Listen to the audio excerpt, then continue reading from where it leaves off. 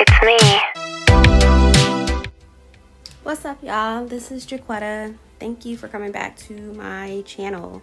And today I'm going to be doing a couple of mini skirts. I found this fabric just laying around the house, um, but I've particularly been inspired by ruffles. I've been seeing the trend everywhere. I love it. I actually think it's quite timeless. And I always try to keep my finger on the pulse and make things that are on trend just to see what my take on it would be, just to expand my creativity.